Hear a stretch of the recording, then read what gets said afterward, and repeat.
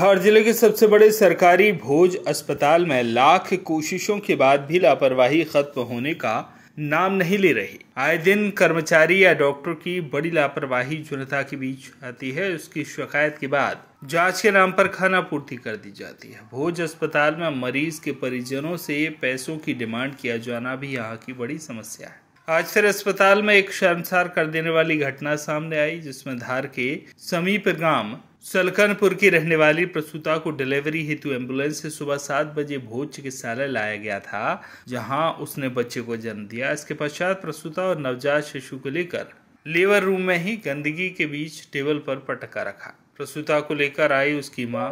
सकीना ने बताया कि मैं अपनी लड़की को डिलीवरी के लिए यहाँ लाई। यहाँ डिलीवरी होने के बाद दो महिला कर्मचारी पैसे की मांग कर रही थी। मेरी प्रसूता, बच्ची व नवजात शिशु को वार्ड में बेड न मिलने के कारण गर्मी में बाहर खुले में पड़े रहने को मजबूर होना पड़ा। इस घटना के दौरान भोज अस्पताल में कोई जवाबदार अधिकारी मौजूद नहीं थे। इस शर्मसार कर देने वाली घटना से जब कुछ मीडिया कर्मियों ने सीएमएचओ डॉक्टर गहलोत को अवगत कराया तब जाकर उक्त प्रसूता को वार्ड में भर्ती किया। सकीना। क्या हुआ आपके साथ? मेरी लड़की को हम सात बजे यहाँ से लाए थे गाँव से संकलपुर गाँव से। ये गाड़ी लेके आए।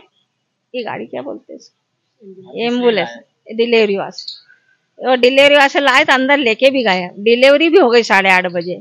आठ बजे तक तो बारह बजे तक उसको मेज पे उस पे पलंग पे सुला रखा। उसको साफ़ सूफ कहीं भी नहीं करा गंदी वाड़े में पटक रखा। और गंदी वाड़े में पटक मौसी को चार चक्कर किया मैंने फिर भी बारह बजे गई वो। तो थोड़ा उसके ने तो वहाँ से साफ़ करा कपड़े मैंने बदले। और कपड़े बदलने के बाद में वो कहती है कि पैसे दो।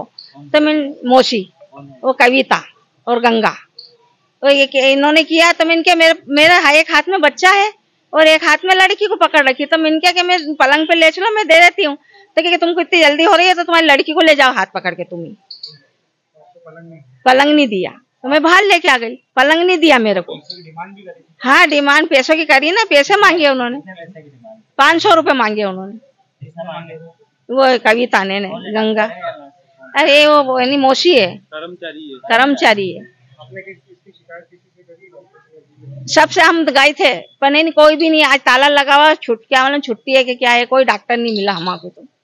कोई से भी डॉक्टर नहीं मिले हमारे अभी आपका पेशेंट ये पड़ा हुआ। क्या चाहते हो? बाहर पड़ा हुआ में हमारा पेशेंट तो हम ये चाहते हैं कि हम गए- हम पैसे देने से इनकार नहीं तो फिर जरा कोई धीर रखे। हमने इतनी देर हम पलंग पे रहे गंदी वाड़े में रहे तो हम सबर करा तो इन्होंने सबर नहीं कर सकते थे पैसे दे। हम पैसे देने से इनकार नहीं कर रहे थे।